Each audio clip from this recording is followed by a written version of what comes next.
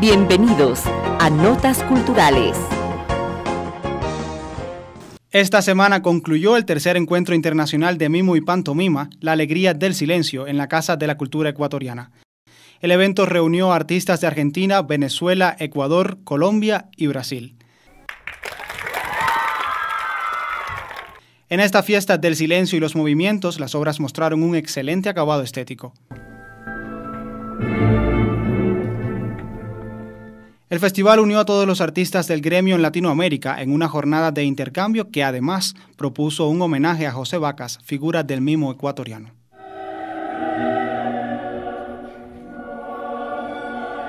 Notas culturales.